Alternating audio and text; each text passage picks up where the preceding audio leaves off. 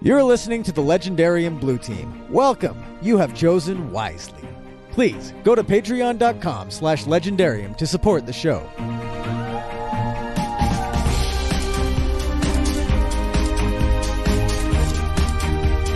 Kenn, you are like that. I'm really not. You're You you're could be as- my hired killer. Kenn. Yep. You got it. For you, I would do. Hired killer of the Legendarium. I think that I think we Kenn. now have a new we have a new moniker for Kenn. I want shirts made up, and I want them now.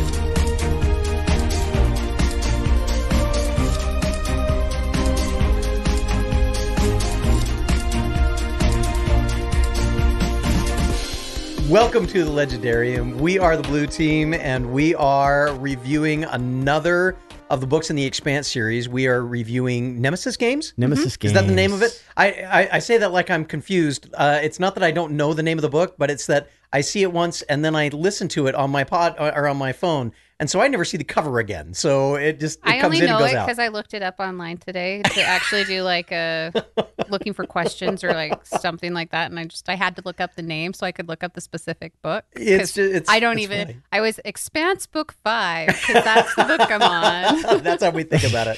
As you can tell, uh, Stephanie is here with us today. Todd and Kenn are also on board. Hey, Kenn, uh, summertime, good time for you. It would be better if uh, baseball were happening. Yeah, I'm saying that because I'm wearing a baseball jersey here in the studio, and Kenn's a little bit.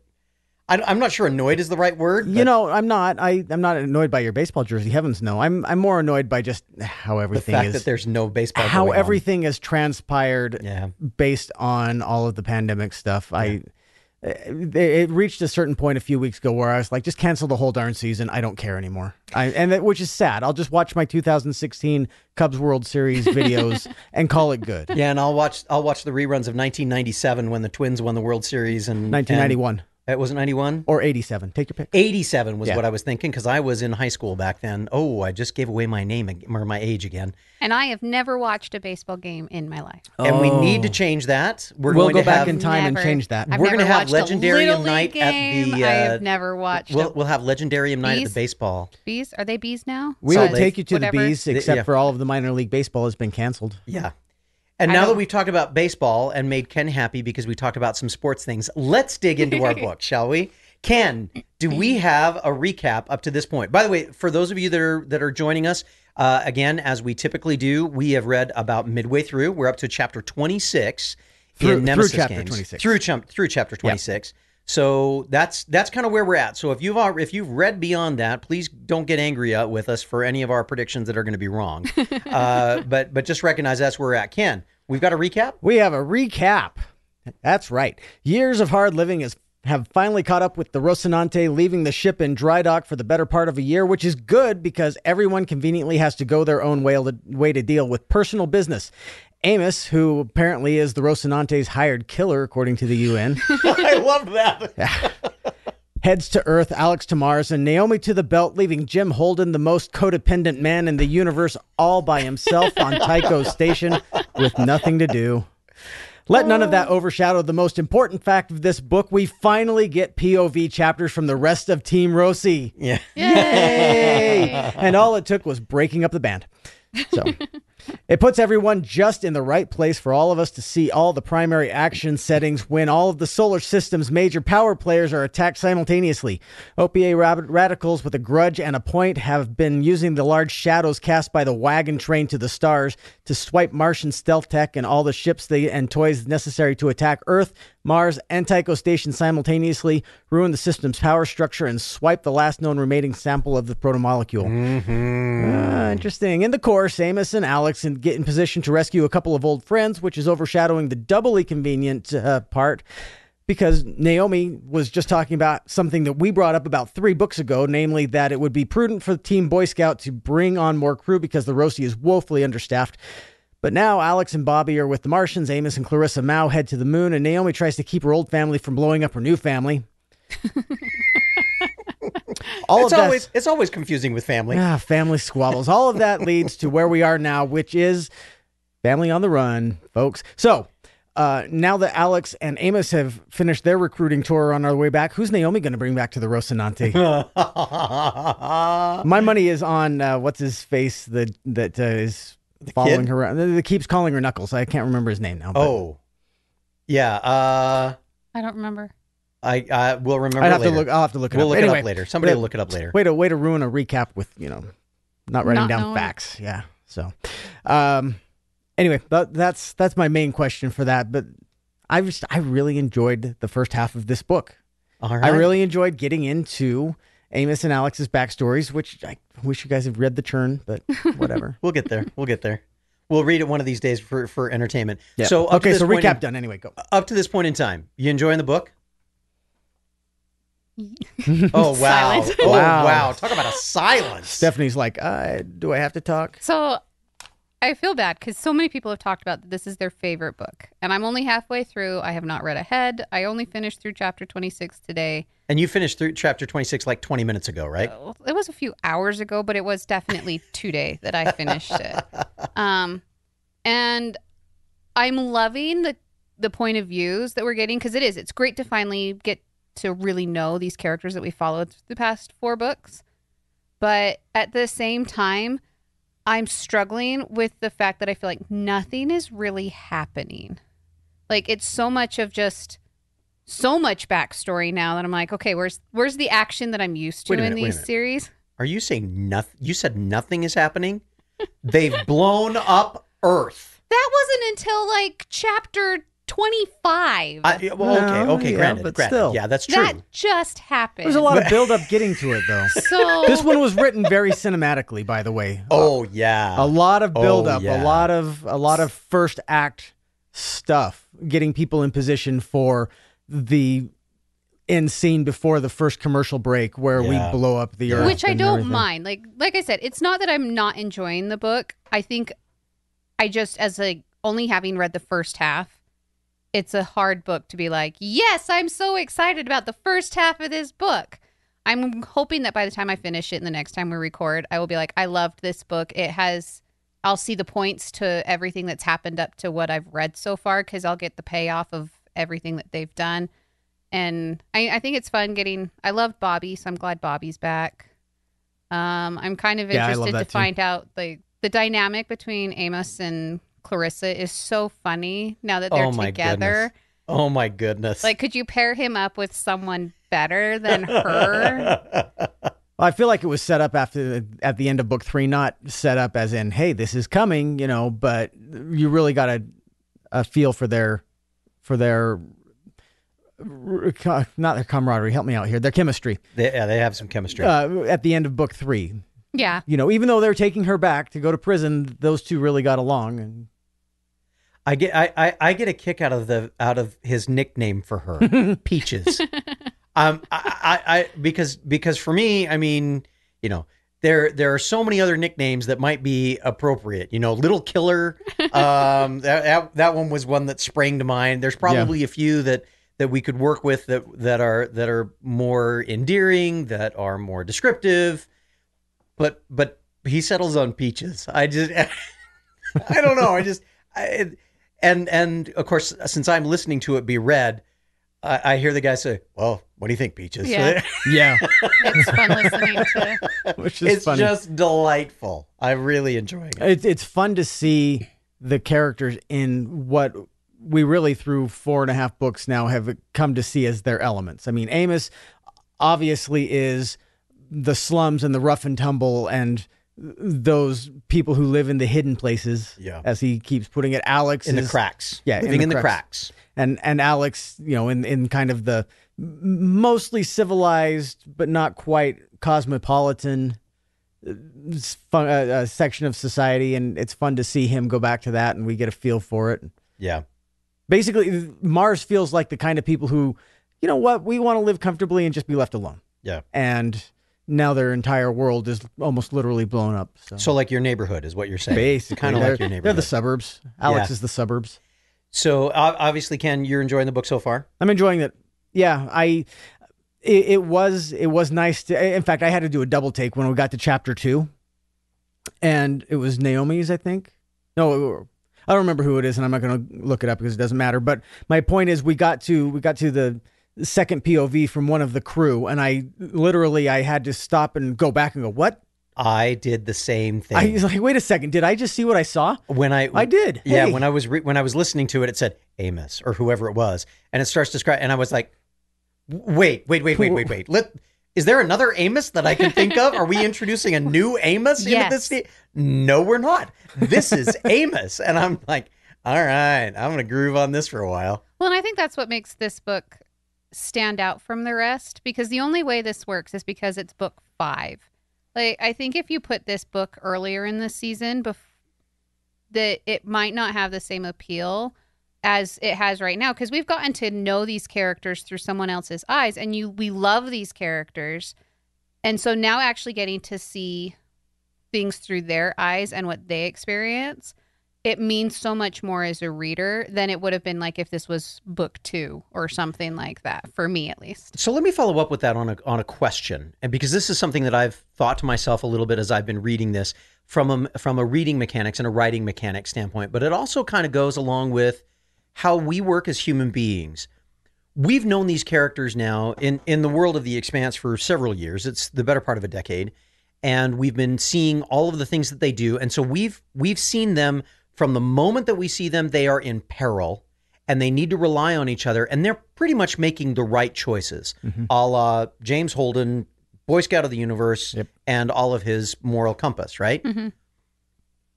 So now, as we get some view into their backstory, do you think that we're more forgiving of all of the bad choices that all of these people have made because we didn't know them? We didn't know about those bad choices before we knew about all of the good choices that they're making. Yeah, I think so. I th- I think that would be absolutely accurate because we've we've come to enjoy these characters as they are, and so it's easy also when you when you get to know somebody and like somebody in, in real life where you say, "I know how you are now. I don't care how you were." And and that almost feels like where we're at with these three characters. In fact, we honestly we don't know very much about Holden's backstory other than you know he has seven mothers and fathers. He went into the Navy, was dishonorably discharged, and then ran from civilization, and that's about it.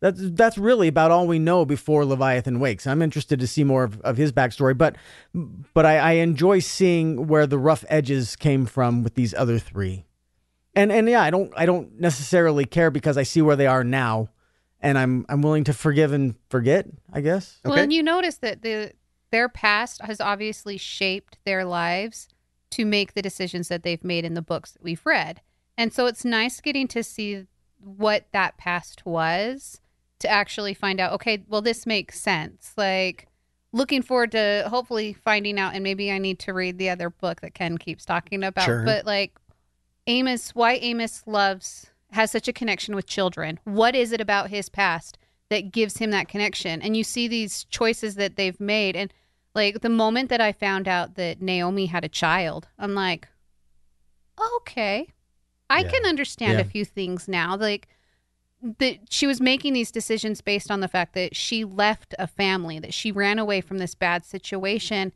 And as a mother i couldn't imagine knowing i have this terrible situation that i have to leave and i have to leave my child in it knowing your child's going to be raised that way. And and so having her as we've talked about that she is one of the best of the best of her job and she's on this freight carrier ship out of like the middle of nowhere. How in the world well now we know that she was running away from a terrible family situation Yeah. and was basically hiding and trying to make up for the fact that she just did something terrible herself to her child and i can understand how how she ended up there and that she had done terrible things before she left her child. yes that that she was forced that marco had forced her into to murdering people and that she knew that it was wrong and she had to leave and so you understand okay yeah now i know why she was where she was when the canterbury blew up and everything and how she's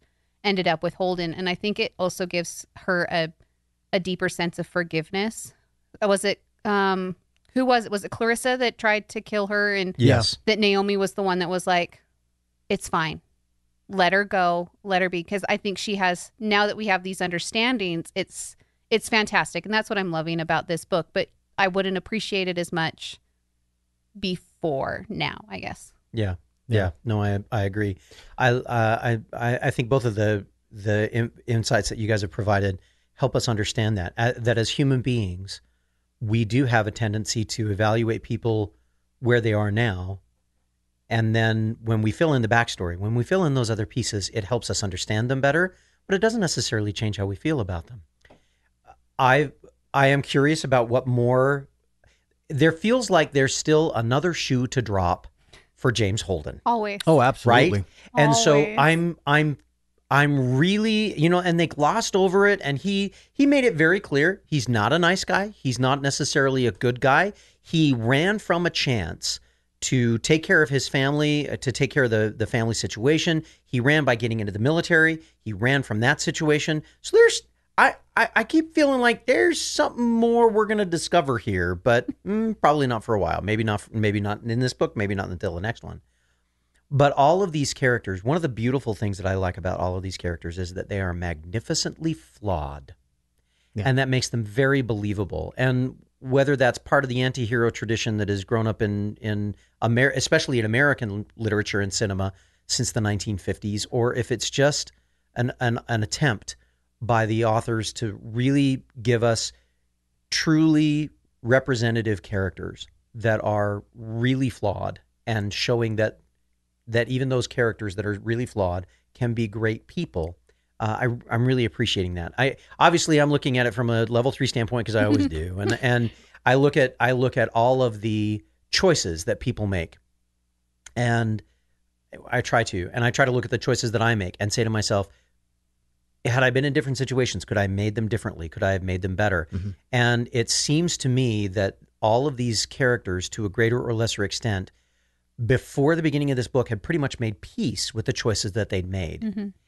And now stuff happens that causes them to have to revisit those. And what a you know, like I think they make a they make reference to opening wounds, uh, to pulling off scabs in the in the writing.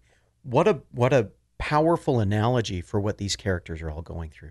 and it's interesting to see how they reconcile that they've grown past the choices that got them to where they're at. I, I thought Alex and his his ex-wife's uh, interaction was was anticlimactic, but also I think it was absolutely appropriate for for what was expected. And I mean, obviously, he I don't know what he expected. Some great grand. We're, I'm going to show up and we're going to talk and it's going to be great and we're going to be the best of friends and all that. That's not what happens. No. That's not at all what No. happens. You you show up and that's it. You ran off and you expect I mean her reaction was completely natural and normal and I think that it received about the appropriate amount of time in this book as it should have. Yep, I agree. You, the the the moment where he says, "Hey, don't," I was like, I, I think I've seen this actually. I, I've seen people do this for Oh, real. yeah. Yeah. I- oh, I've seen I've I've seen it recently ish. Yeah. I mean, you know, one one of my friends who who was you know left a, another of my friends for different reasons, not because the skies were calling and I must answer or anything like that. But it's still the same way. The one who was who decided to do the actions, you know, that caused the breakup is like, well, hey, we can still be cool, right? No. yeah, No, we cannot still be cool. You need to go. yeah, yeah. You you may have you may have fixed this, Yeah. but you didn't fix all of my stuff. I fixed all of my stuff. Get out. Mm-hmm. Yeah. Uh, I, I, I, and having seen that, and also seeing him say, "Yeah, yeah, that's that's kind of appropriate. I screwed things up.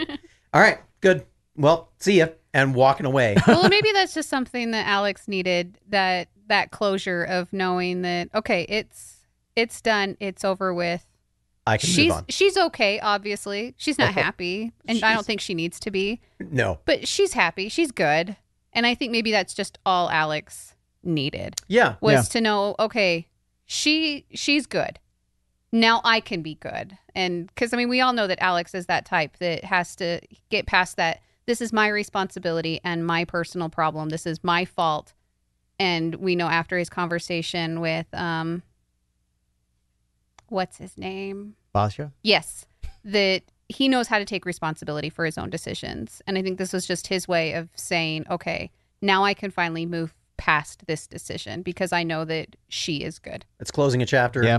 Move on. Let's be done with it and, And I it- can move on now. And honestly, there was only one reason he was there, and that's to, to reconcile or reconnoiter, reconnoiter with Bobbie. Yeah. Now That's the I only want to reason. I, I want to stay with him for just a moment. We'll come, uh, but I want to I want to do the same kind of examination with the other two characters in just a minute. But I want to stay with Alex for just a second. We get a we get a view of all of these characters of where they were and of how every how they may have moved on, but in certain aspects of their lives, no one has moved on about them. And we see a little bit of that with Alex when he's talking to one of his old Navy buddies. And when he goes in and has that dinner, the or the tea at the little at the little uh, cafe diner, and everybody's like, "No, you know, it's on the house. We're we're paying for you, sir." You know, and he's and Alex is obviously a little bit befuddled by all of this because he's like, "Uh, yeah, I just mustered out, ran away from a marriage that wasn't working for me, and got on board a ship and got shot at a lot. And now you're all making me sound like I'm some hero. This is not. This is not who I am. I'm just I'm just a fly guy." and but but everybody sees him in the context that they knew him before. A military pilot who is doing military kinds of things Yep. and still connected. And i i find that I, it made me kind of wonder gee is that really what we do with each other as people? We we see each other and we don't allow each other to grow. And the more i think about that i think yeah it kind of is. It kind of is. When i see i live in the same town that i grew up in. And it is bizarre sometimes when I see friends who still live there. And we've seen the growth that has occurred in the two of us because of what choices we made and where we've gone and all those kinds of things. But then we see somebody that comes in from out of town for a couple of days and they expect us to be the same people that we were 25 years ago. Right. And we're like, uh, yeah, no, we've That's moved, not we've us. moved well beyond some of that. And I, but I found that very interesting that the authors decided, and maybe they, maybe they didn't decide to do this. Maybe that wasn't a conscious thing. Maybe it was just a very convenient way of approaching the plot. But it felt very much like a, a comment about the way that we see. Did you guys feel that, or was that just me overanalyzing things because I had a little time on my hands? You probably overanalyzed it a little bit. Well, and we know everybody on the podcast is surprised to hear that I might be overanalyzing things. But in your defense, it was a good analysis. yes, it was. It was a very good analysis. I think part of it is also, and I don't know, I'm not a celebrity. I have moments. I think you're a pretty big deal. So I Yeah. have to you're a pretty big deal. I can't remember. It was when we went we went to um, Brandon Sanderson's book signing. Yes. And I had someone that I have never met, one of our listeners, and I apologize because now I don't remember who you are, but that knew me. And I had obviously never met them. And that was new to me for that first time that I've had people that recognize me but don't know me. That was an interesting night. And I'm like, I don't know how to handle this. This is kind of strange. it is interesting to get Um, recognized outside of. But it's one of those Yeah. things like we still interact with people. I mean, we we all live on this world and we all have chances to meet people.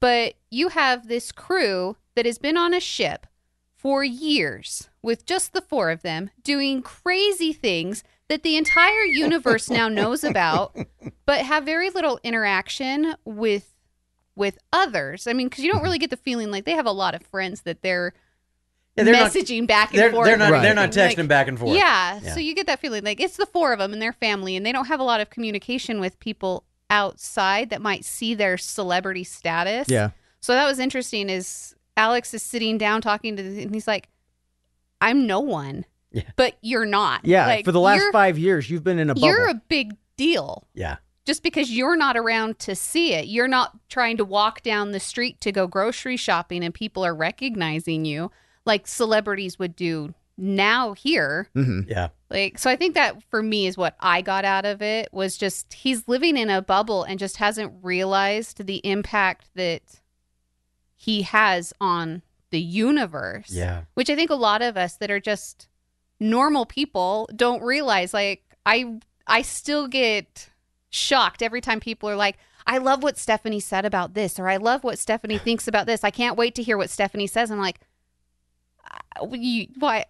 I, it's just me. It's just I'm just talking. I don't know why what I have to say is so important or interesting because I just don't see it that way. Because to me, I'm just a normal person. Yeah, but but the rest of us know you're kind of a big deal. You are. well, you That- can keep saying that. one of one of the one of the moments in that that that was kind of fun for me was Alex sitting there and saying, "Wait a minute, Jim's normally the one that gets all of this kind of attention. Is this what he feels like? Is this what it's like to be Jim Holden? You know that moment where he says, "Oh, people looking at me." But normally I'm normally I'm sitting in the background watching all of this stuff happen. Now it's happening to me. What a what an interesting opportunity to to have some fun with that character. Oh yeah. I I want to I want to we're going to save Naomi for last. Actually, we'll probably talk a little bit about Jim, but I want to save Naomi for for I want to talk about Amos for a second. It's funny, by the way, you said to save Jim, but really, he was the least interesting part of this first half of the book. He you, uh, and and I, I want to come back to So, that. well, yeah, we'll come back to it. I, I just wanted I, to there- point that there's out. some stuff there's some stuff with that that I think is really important. Uh, and you're right, he is the least interesting, but probably the most. I, I think the most critical for setting up a lot of stuff that's going on. Well, he is the galaxy's most honest man. Boy Scout of the Universe, James Holden. I want that on a bumper sticker, right? You know, I'm not to heck with all the rest of the campaigning. James Holden, Boy Scout of the Universe. If somebody can make one of those and send it to the Legendarium, let us know. I will put that on my car. Holden Amos Uh, 2020. So, so Yes, Holden would and vote Amos 2020. I would vote for that. I would vote for that. They're both American. you have a hired killer for your for your vice president. Sounds to me like the military is going to do. Di- anyway, I'm sorry. Anyway, I'm sorry. sorry. Let's talk about I'm Amos. sorry. That was totally inappropriate. Let's talk about Amos. The there's there's a line in all of the stuff, and it wasn't even Amos's line.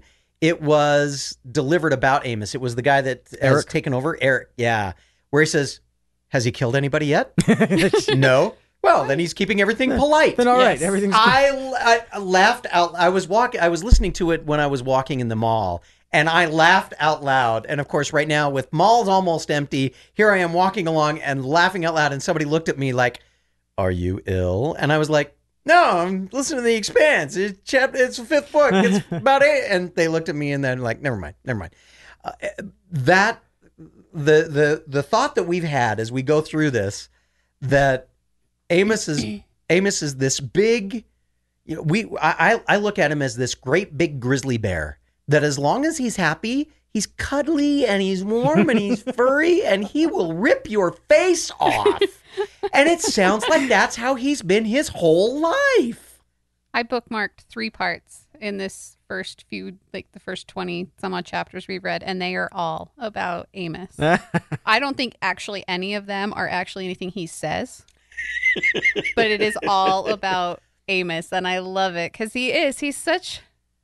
He's such a fun character and he's so deep. Like so often you get the big burly guy that they almost play as dumb in some of these shows because I they're just the muscle. Yeah. So they can't be smart. And that is not Amos. Amos is pretty brilliant He's he is. He's fantastic and he's smart and he knows what he's doing cuz like in that mind where um it's that conversation that he's having with um Avasarala where Mhm. she's like, "Well, you're his hired killer." And he's like, "I'm the mechanic." But I like the fact But- that I'm you think kill- I'm the hired killer. But that's that's kinda cool. I- so yeah. I, I, he's just. I think he's such a deep character, and I love that about the, him. That he's just not. He's just not the muscle. He's just not the bodyguard. That he's someone that is more interesting than that. the thing I love about him is that he has no brain mouth filter. It's like what he piece of that. says, what he says is what he is thinking. Yeah And what he is thinking, he will tell you. There is none none of this sugarcoating. Well, I think, are you sure you want No, he'll tell you. yeah What? there's a moment in there's a moment when he's talking when he's when he's going through and he's looking at everybody he's looking at people from his past and he says all of these people are what they, they these these people are what they do and what they know and it hasn't changed but i've changed i know how to keep a fusion reactor running i know how to keep a spaceship flying i know things that none of these people know i'm not trapped by my past and I know I'm not saying that correctly. I know I didn't I didn't quote it. I didn't I didn't bookmark it and bring it in and I should have. But but that stuck with me that he has not taken an excuse. He hasn't taken his past and made it an excuse for not making a different future, for not growing in his future. Now, Yeah. obviously, it's it's it's pretty cool that he's or it's pretty clear that he's somewhat of a sociopath and he knows it. And that's why he relies on other people and and apparently always has relied on other people to help him develop a value system. And to be his Jiminy Cricket so he can be a real boy. we, we we joked about that a little We bit have. in some of the early books, but Yep. it's very clear that no, that is how he lives his life, and it always has been. And to think that he has gone from being a thief on the streets, perhaps a prostitute, uh, certainly a protector of prostitutes. I, I, I have the feeling when he's talking about the woman that was hurt that that was the relationship that he was probably the muscle to protect her in that kind of a situation. And when he comes back and he makes he, you know he's he's looking at all these things he realizes just what a fish out of water he really has become and that he's not from here and he's from here but he doesn't belong here anymore and i was really I, I, I don't know. It was, it, it was almost it almost brought me to tears, uh, which is not necessarily all that hard to do. We all know that, right? But but it really it, it really was very moving to me the way that that was portrayed. No, he, he has escaped all of this other stuff and had a really different trajectory in his life because he learned things, because he developed some skills and he got connected with some people that had a different way of looking at life and a different way of handling problems. What a what a profound statement. Uh, again, I know I'm looking level 3. I I always do. That's a really whether whether or not the authors were intending to do that, that's a really profound piece of insight that we can get from pop popular literature. but at the same time he realized if he wanted to and more importantly everybody else realized if he wanted to he could come back in and take control Yeah. no problem Yeah. When he hits the one guy in the throat and he just, you know, stops him breathing. All right, so here's how this is going to work. Yeah. well it, it, it's it's fun to watch all of the interactions ahead of that on the shuttle and everything too it's i will exert exactly as much muscle as i need to no more and that's how it's going to go Yeah. and then you will do oh, what Oh, i yeah, say forgot because I forgot about the kerfuffle on board the Oh, shuttle. so- that was awesome. That was fantastic. he he just he has the coolest action in all of these books. Yeah. I just I just love it. He's I I'm maybe I'm a little bit hero worshipy jealous. I wish I could be like that. I don't know. Kenn, you are like that. I'm really not. You're You you're could be as- my hired killer, Kenn. Yep. You got it. You're I I For think, you, I would do it. Hired killer of the Legendarium. I think that I think we Kenn. now have a new we have a new moniker for Kenn. I want shirts made up, and I want them now. Kenn, you're the hired killer. Um, I think we can arrange that. I think we could arrange that. You'll you'll have to explain it to Jolene, but I think we've got Yeah. I think we can arrange that. Shh, No one needs to know. What were the other ones you had marked? that I marked on the. Yeah. Bring them back up. Since we're still I know one of them is from Naomi when she is. when Holden was asking her why they never hooked up. No. I thought that was interesting. Well, this you- is towards the end of the. Well, it was in like chapter 21 after. I don't think she'd quite been kidnapped. Like, I don't think she'd quite been abducted yet. But anyway, um, she's sitting there. She's trying to figure out how to get through, get out of the situation she's in. And she says, if Amos has become my personal touchstone of wisdom, I'm F. Oh, yeah, yeah, yeah, yeah, yeah. Right. also, I will admit, like, all of my bookmarks have swear words in them because there's a lot of swearing in this book. Well, there there is, Well, yeah.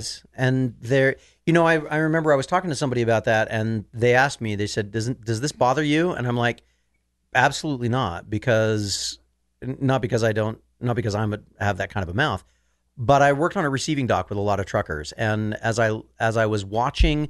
Uh, the first season of Expanse on Sci-Fi Channel uh, on Amazon Prime, I think, from from when the Sci-Fi Channel was producing it. As I, as I was listening to this, I realized that's what these guys are. They're long haul truckers, and in that kind of an environment, quite frankly, it's not a big. In fact, uh, it was interesting. My wife has asked me about that, and she works with a trucking company now, and she says, "Yeah, they all talk like blah blah blah blah blah," and I'm like, "Yeah, I totally understand that," because that's that's how it works. It's just not that big a deal, and I guess for me, it fits. It's a it's an it's an example of how carefully they've constructed this world because that really fits the words, the the swearing. It, it's also interesting. There are certain words that they use a lot, and then every now and again they'll say, he creatively swore. And I'm like, how much more creative do you need to get than some of this stuff that we're listening to? I want to hear some of that creative cursing. no, you don't. Um, the the the i- but the idea that that there's some that this is real. These are these are representations of people that having been in that kind of environment for a long period of time. I, I totally get it. I totally see these people. I I I can see them in some of the people that I used to work with. And maybe that says too much about my history, but it's it, it certainly is. It certainly is true. I want to bring up something about Amos really quick that I, I just kind of thought of uh, and remember thinking about before, but it just came back to top of mind when we were talking about how the backstories affected our views of the characters. That really is kind of the embodiment of Amos. He is he is is the textbook example of how you can look at a person and judge that person based on how that person is. Yeah. Not the perceptions of them, not even necessarily what they did, but but what they are about. And and as evidence, look at how he he just he takes Clarissa and he makes a friend of her, checks in on her conveniently enough for the furthering of the plot. And I'm, I'm just saying, you know. But It's a book, Kenn. They wrote it that way. I know, and it, and they had to. I mean, it had to go this way so that we can resolve it. You know, with them coming onto the ship and being part of the crew. Makes me in a the ne- in the end little of the book. nervous. Well, we'll get to predictions a little bit later. But anyway, I I just I thought that was interesting. Amos he sees a person and he knows he, he knows their character and he judges them by their character. Are you a good person? You a bad person? Yeah, you might have you know read in your past, but you don't now. Yeah. You know, you've got everybody's got stuff to get past. I really love because we've seen Amos interact with people that are just bad. Like we have Murtry that he Oh obviously butt heads with because Murtry is just a bad person. Clarissa has killed a lot of people. Yeah. She, for all intents and purposes, is a bad person. She's Yeah. in prison. She is 10 stories underground in With a tubes hole. hooked up to her, yeah. Like, and Amos still sees who she actually Yeah. is. Yeah. And I loved that they became friends because it's not just Amos is just like, oh, well, I can relate to her because she's a killer too. It's not like that for him. There's it's just deeper and I loved the relationship and I loved that they brought her back with him. Because if anyone else had visited Clarissa, I'd be like, that's weird. Yeah. But Amos with her makes so much sense because I think by the end of the book that we had with Clarissa and everything that she did, you saw the change in her, for her realizing that I made bad decisions and I can move forward and take responsibility for what I did.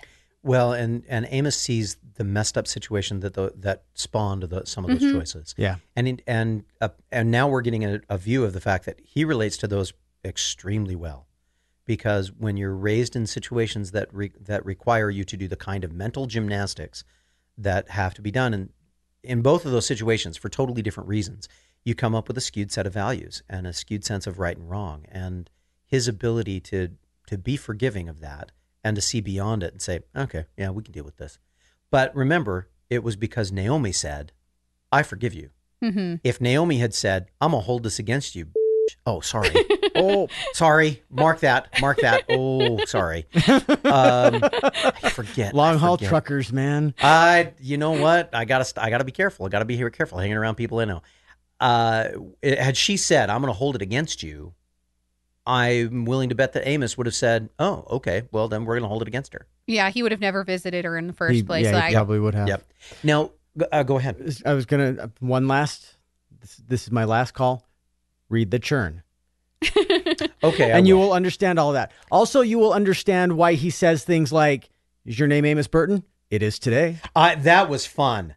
That was fun. Yeah, you'll understand that. I have I have said on occasion when people say da da da da da, you know, are you Todd Wente? As far as you know, and I realized after I've said that a few times to people that don't know me, that's probably not a really good thing to do. I say it to my friends and they kind of chuckle, right? Kind of like Stephanie is right now. But I, I've said that I've said that in a couple of places that I'm like, that's probably not a good idea. There's another part of Amos that's really fascinating, and we get a we get a glimpse of Amos. One of the things that I really liked about these chapters with Amos is we see him in Baltimore with all of the criminal element and how they treat him as one of them. He's a criminal. Yeah. And we're going to act as we're we're, we're going to be ready to fight against him. I loved his I loved the chapter where we got to where he and Erich were talking and Amos is going through all of the, you know, figuring out what all the angles are, what's the best thing to do. Ah, the best thing is probably to do this. Amos is not a dumb guy by any stretch mm of the imagination. But then we get him in the prison and he has to remind people, "Hey, I'm a civilian.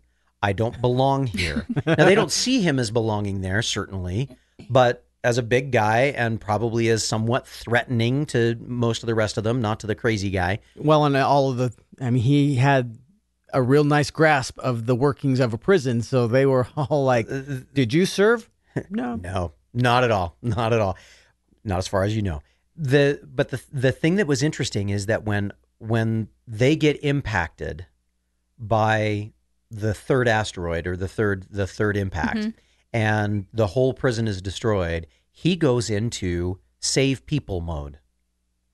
And I I really, I really was impressed by that. All of the things that he has learned, all of the things that he has gone through on, on Eros Station, the things that they've gone through uh, through Ilus, and all of the all of the experiences that he's had with Naomi and Alex and Jim, prepared him perfectly for this moment where he could look at the guards and speak the guards' language, look at the prisoners, and say, "Look, you know, this isn't the way that we do things. Let's let's take this."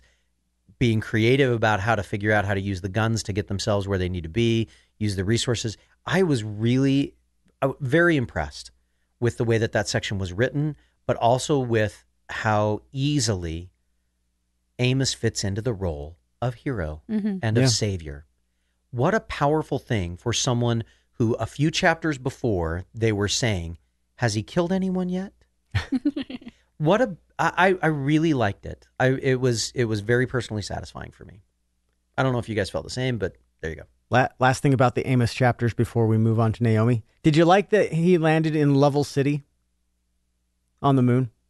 Oh yes, that yes. That, that was a, that was that a quick little smile. moment of oh. Stephanie's not going to understand. No. Look at her Jim, face. Jim Jim Lovell, the, the captain of Apollo 13. We'll fill you in later. He we'll was an actual later. astronaut. We, gentlemen, what are your intentions?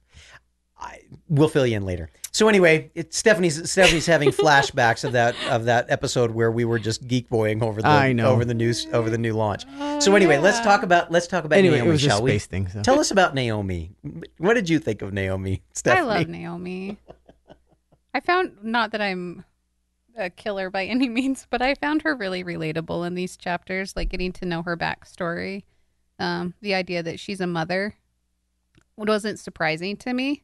It kind of caught me a little off guard, but it wasn't surprising that that's kind of where she ended up in her life. But I just think it's like the fact that she got drawn into this political mess in her youth when I'm sure the OPA was new. I mean, they're still trying to figure out how do we break apart from the inner planets and everything. When the OPA is really starting to kind of form between actually being a legitimate political structure for the belt or just being a terrorist organization. She kind of got pulled into that whole terrorist organization side of things, but she's just understanding so much more of her backstory and where she came with her relationship with Marco, her relationship with the other people as she's interacting with these with her son as she's trying to develop some sort of relationship. Every once in a while, she throws in these one liners, hoping to get her son to think about this is why I left. This is where you're at. This is a dangerous situation. Like when she comments to him, like, you can come with me. And that's kind of what I'm I'm hoping. I would love to see. I don't think it's going to happen, yeah. honestly, as a prediction, but I would love to see her son brought with her and actually getting to watch her relationship with Jim, her relationship with her son build and develop in later stories since Jim doesn't know that she has a son. Yeah. At least she's never really given any inclination that pillow talk or whatever that she's told him that. Um it, it really does feel like he's set up to walk that line that his dad is has drawn for him and and that's it. He's a kid's a fanatic. He's a terrorist. But I'm not saying, I'm not trying to dash your hopes, Stephanie. I'm not. Well, I don't feel Yes, like but he's I'm with you. there. He's Like, absolutely trying to. But I'm with your you. hopes. I think her son is just on that pinnacle of falling over the edge. Yeah. Like uh like you can tell that he is definitely wanting to please his father, but one one decision, one moment and he could go the other way. Yeah. And that that little bit of hope that I have, like I said, it's a small amount and I really don't see it happening and playing out that way, but I don't think he's quite the fanatic like the people he's around. Yeah. I just think it's the people that he's around. It's the way he was raised. So he doesn't really know quite yet, but he hasn't made that final, even though his father has forced him into killing, where he was like, that's me, as they're interviewing someone about, I don't even remember what happened. And Naomi realizes, she's like, oh, your father's now made you a pawn. Oh, right. Yeah. You're now, I remember that moment when he did that with me, when he forced me to become a killer. I didn't want to, but this was the position I was in. And she's seeing this in her son. Yeah. Uh, certainly, the the chapters with Naomi are much more melancholy Mm-hmm. and much less entertaining, much less lighthearted than. Uh, uh, it's hard to it's hard to believe that we call some of the stuff that that is going on with Amos lighthearted, but but it's it's a much more melancholy feel. What were your reactions to the uh, to the to the idea that Naomi abandoned her child. You've kind of talked about this a little bit, Stephanie. I mean, it's it's so hard to judge someone like i get that this is a book and it's fiction. It's hard for me to wrap around my head what kind of position i would have to be in to do that. Yeah, because so many times we've re- read in society and newspapers like people are in domestic abuse situations and so many specifically women not that it doesn't happen the other way around but they stay there because of their children. Yeah, they Yeah. are constantly putting their life at risk to save their children and not really quite grasping and understanding what made her decide I can I am going to leave my child in this situation so I can survive. Whether in her mind she's thinking I'm going to come back for him.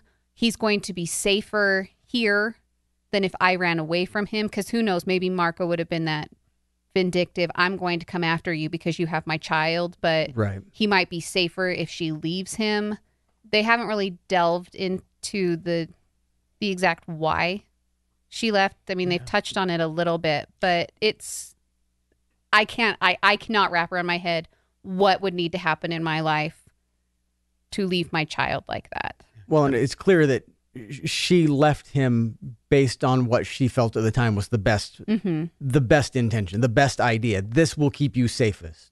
It wasn't her running away. It wasn't her saying the boy is on his own and I'm going to get out of here cuz you, you know what I mean? And Marco, he's the the worst kind of manipulative fanatic yeah, uh, he's he's charismatic, and she even says it in person. He's his voice is much more resonant than it is on TV, and he's so you, you can see why she would be drawn into him because he's charming and he's he he draws all of his followers in, and he uses his son to manipulate the loyalties of his followers, that sort of thing. It, it's I don't want to say it's textbook because that kind of diminishes the way that that Franck and Abraham have written him, but but he, he almost is a, kind of a stereotypical terrorist leader. Well, it's, yeah, that your cult leaders. That's what you expect from Yeah, them. If yeah. they're not charming, no one's going to follow them because everyone can see, oh, you're fake and you're crazy.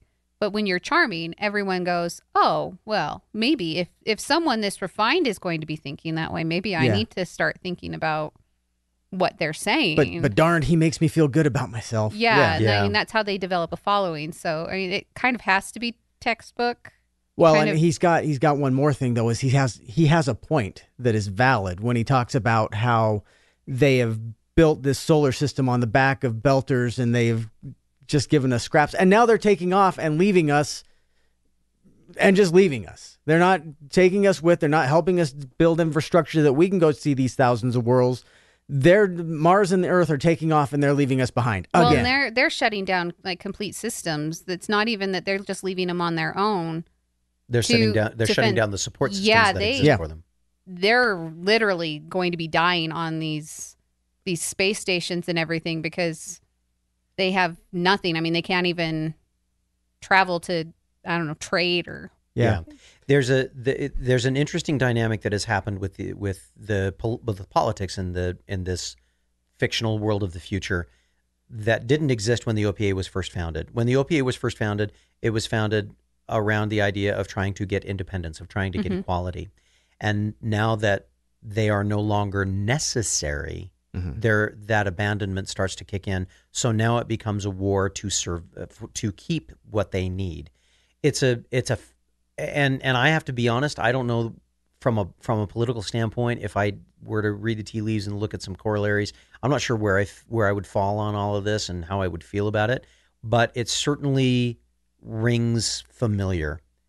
And the idea that that there are well-intentioned people that will be on both sides of this conflict to me makes this more real and more poignant and more believable but it also when when you when you take that on a on a large level yeah all those pieces in play. And then but then when you boil it down to individual people when you boil it down to a Naomi who is faced with do I commit further acts of atrocity in the name of trying to stay close to now keep in mind one of the things that they indicated was that Marco was moving her son from family to family to family to mm-hmm. family keeping her away from him as a way of that manipulation if you'll do what I ask I'll give you time with your son if you'll do what I ask I'll give you time or at least that's a, as as as I was listening to it that was the feeling that I was getting was that Yeah. Marco was being was was being that level of manipulative Yeah, he was being he was being used to indicate which followers he has favor with. yes and If if I trust you with my son, that means you are in my inner circle. You are in my good graces at that moment. It could and change that's a a, and that's a powerful powerful set of manipulators.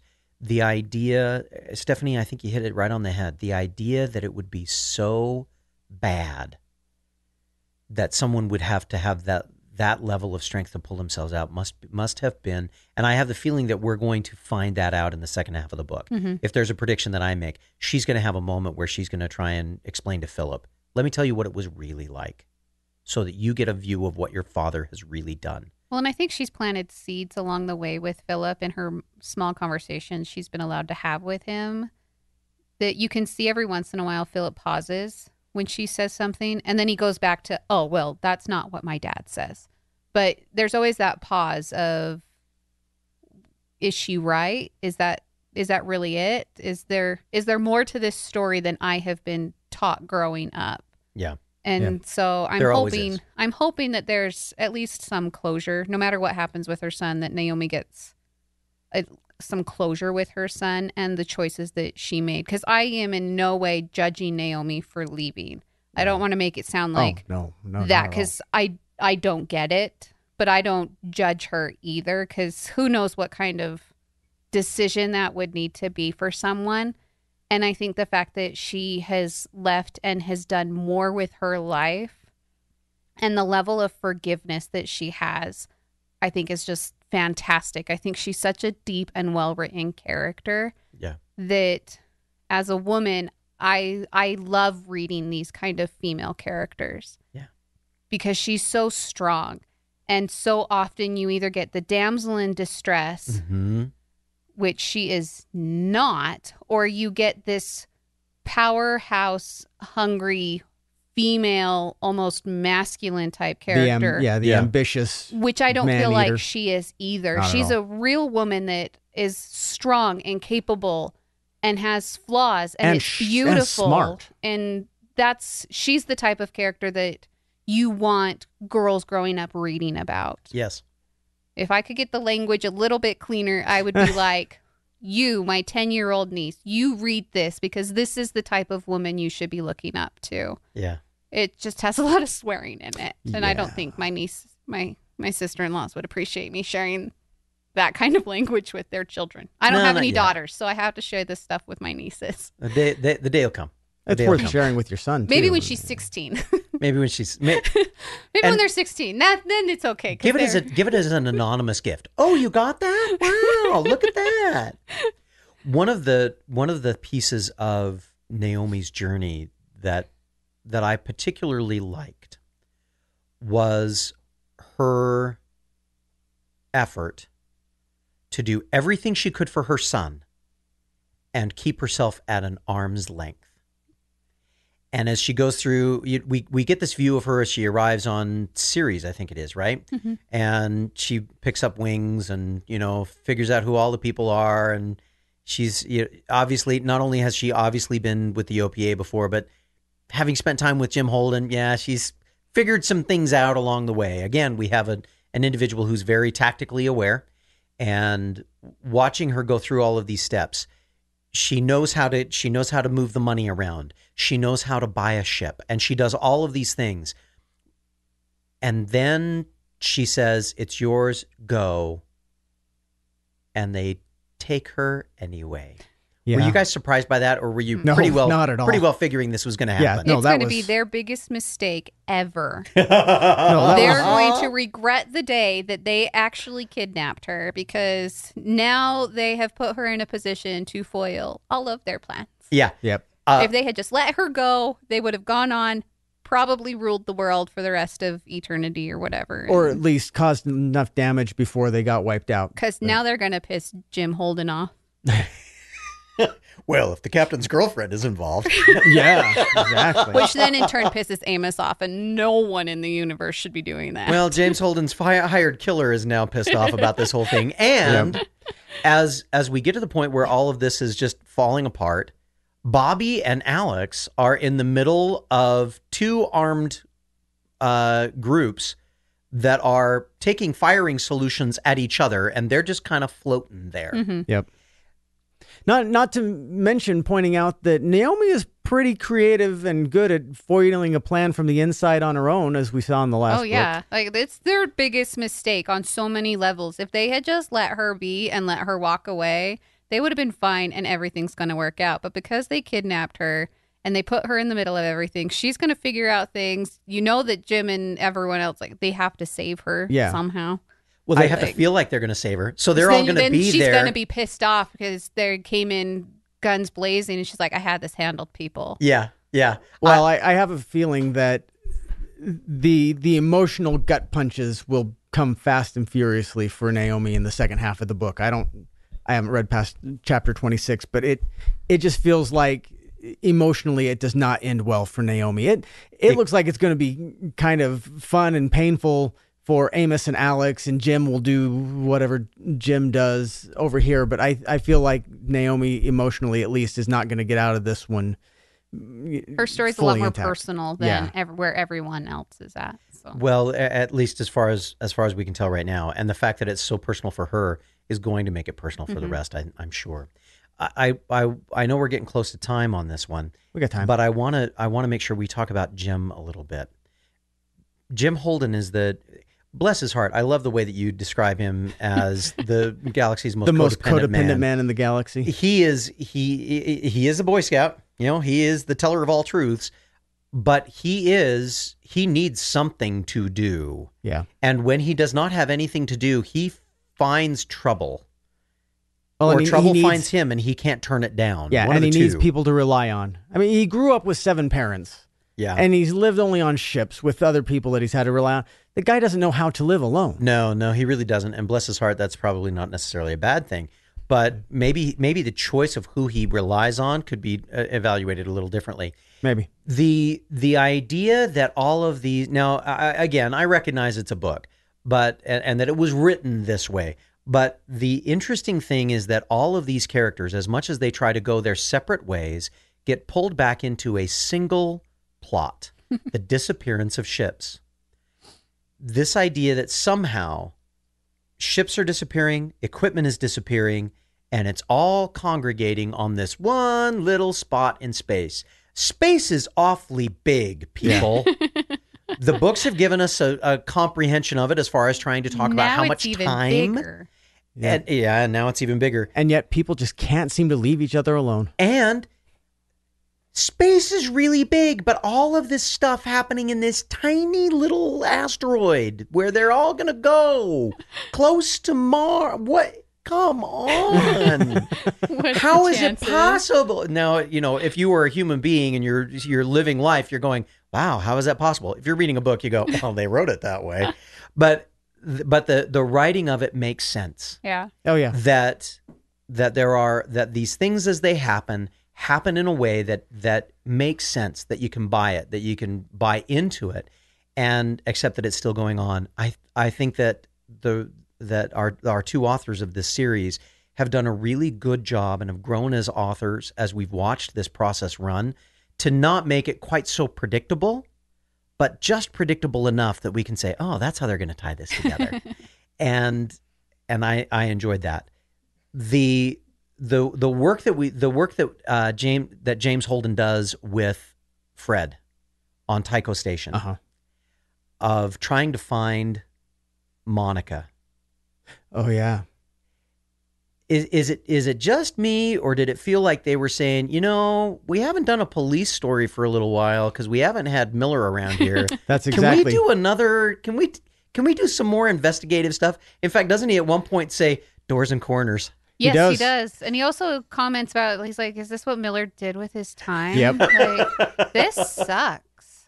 All I'm doing is paperwork and research and is this what it's like? Like, Yeah, which- Why? why would anyone and- want to be a detective? and guess what? Police work. That is exactly what it's yeah, like. it's like yeah. this is boring. I, I would have been just fine with Monica showing up, pointing Holden in the right right direction and letting him go, and her just not being relevant the rest of the book again. But at least they make it fun. I mean, because they throw in those things like like police work is boring and Yeah. doors and corners and, and you know and references to Miller. They they throw those in to make it fun, but at the same time, it's mostly he really is the least relevant point of view or storyline in this first half. Up to this first half, yeah, up through this first half. yeah, He's he's there. They, aside from the fact that he has to be there for them to steal the protomolecule.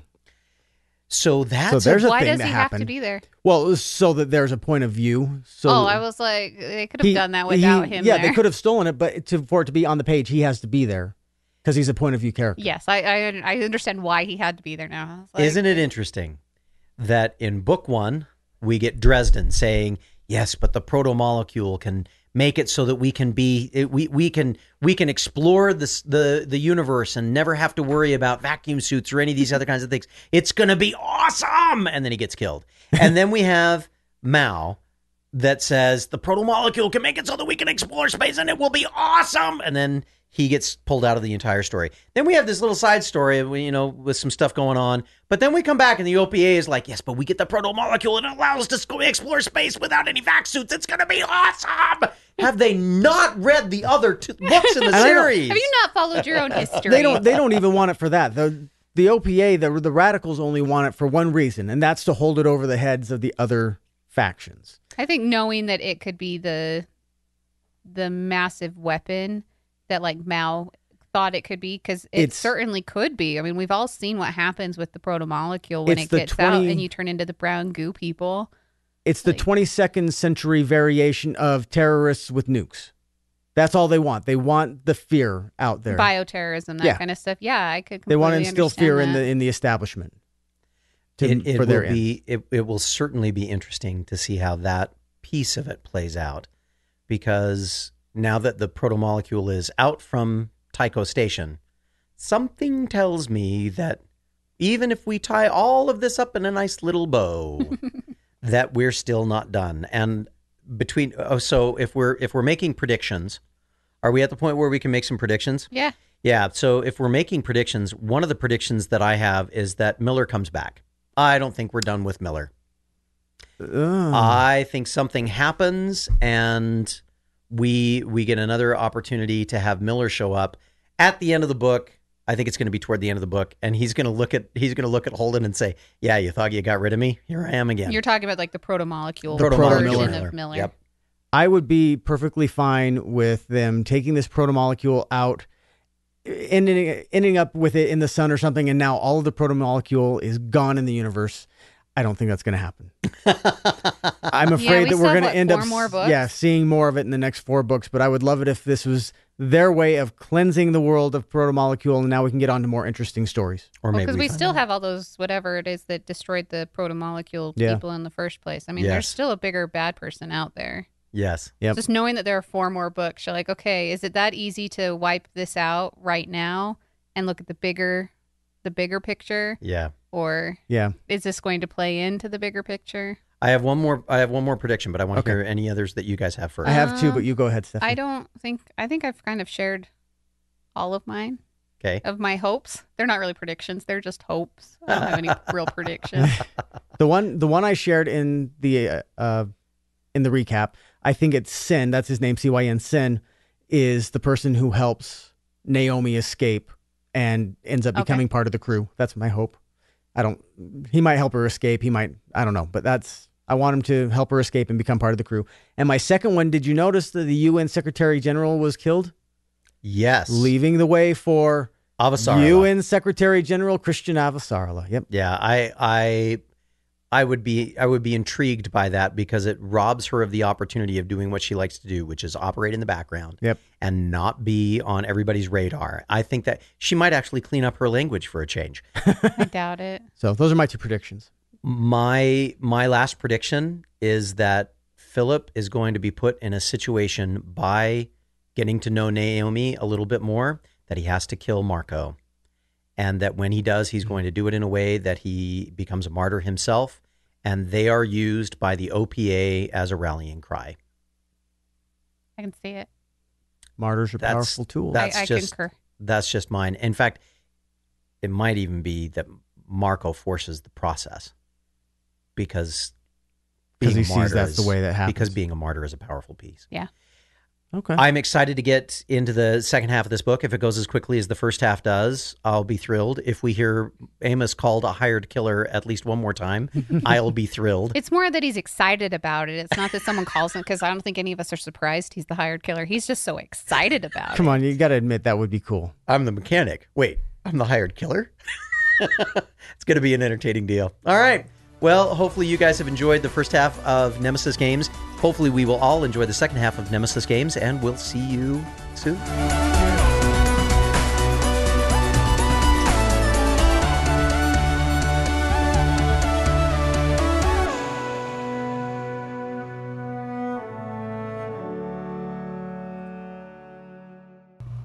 Welcome to the Legendarium. We Wait, are. wait, wait, wait, wait, we're not ready to go. We're not ready to go. Oh, we need to turn the. Are we going to keep that? And let's keep that in the. Let's let's remove that in post. All right. Um, here, Craig. This just needs to be removed. So Take take two. He's going to use this. You know he is. All right, take two. Go. Welcome to the Legendarium. We are the blue team.